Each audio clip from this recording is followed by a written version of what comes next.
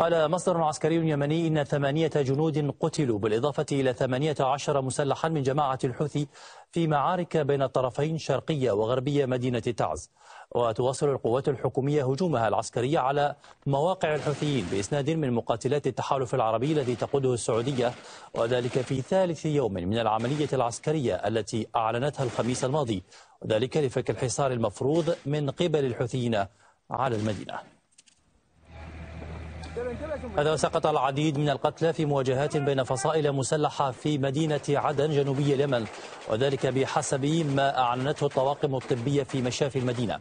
وتأتي هذه الاشتباكات في ظل التوتر الحالي بين انفصالي جنوب المدعومين من الإمارات العربية المتحدة والحكومة اليمنية المدعومة من قبل التحالف بقيادة السعودية من أجل السيطرة على النصف الجنوبي من البلاد.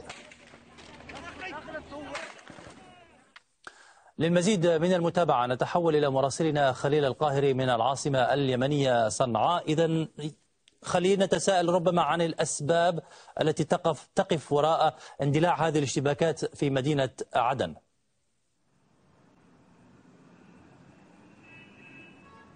نعم هشام الأسباب يعني تأتي على خلفية انتهاء المهلة التي كان قد منحها المجلس الانتقالي الجنوبي بقيادة عيدروس الزبيدي لحكومة أحمد بن دغر والتي انتهت اليوم الأحد بأن تغادر المدينة و اتهمها بالفساد وبالتالي هدد بالتصعيد إذا لم تتم إذا لم يتم اتخاذ هذه الخطوات. وبالتالي كان التصعيد اليوم هو يعني كان يعد لتظاهرة حاشدة يعد لها المجلس الانتقالي الجنوبي وبعض فصائل الحراك الجنوبي احتجاجا على وجود حكومة أحمد بن دغر في عدن. ولكن أيضا ربما بعد ذلك اندلعت الاشتباكات بين الجانبين على خلفية إعلان على خلفية منع آه، القوات الحماية الرئاسية والقوات آه، التابعة للداخلية اليمنية إقامة مثل هذه التظاهرات واعتبارها مخالفة للقانون وإغلاقها كافة المداخل المؤدية إلى ساحة العروض التي كان من المقرر أن تقام فيها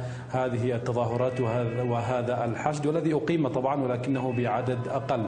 بالتالي تحول الأمر بالضرورة إلى اشتباكات مسلحة سقط على إثرها قتلى وجرحى من الجانبين. حتى الآن آخر المعلومات تشير إلى أن أحد عشر قتيلا سقط من الجانبين بالإضافة إلى أكثر من ثلاثين آه، جريحا. وأيضا آخر المعلومات تقول بأن قوات الحماية الرئاسية الموالية للرئيس عبد ربه منصور هادي استعادت السيطرة على بعض المباني التي كانت آه، القوات الموالية للمجلس الانتقالي الجنوبي قد سيطرت عليها خلال الساعات الماضية وحتى هذه اللحظة ما تزال الاشتباكات متواصلة ولكن بشكل ربما أخف مما كانت عليه في ساعات ما قبل آه، ظهر اليوم. هذه إحاطة عامة وموجزة طبعا آه، عن الأحداث في عدن ولعل الساعات القادمة أيضا تنبئ عن جديد في هذا الإطار هشام خليل القاهري مراسلنا من صنعاء. شكرا جزيلا لك.